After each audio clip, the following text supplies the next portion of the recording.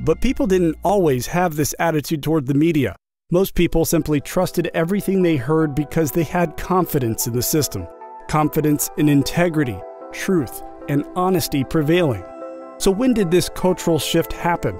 Many think that the implementation of the 24 hour news cycle is to blame. Today, January 14, 1952, 7 a.m. Back in the 1950s, there was just one 30 minute news channel on in the evening. Heart of Radio City, New York. We are in touch with the world. Then, in the 1980s, CNN became the first cable news channel to broadcast 24 hours every day. Good evening, I'm David Walker. And I'm Lois Hart. Now here's the news. President Carter has arrived. That was sort of the heyday of local uh, anchors. There were no other options for watching TV, and so we had huge ratings.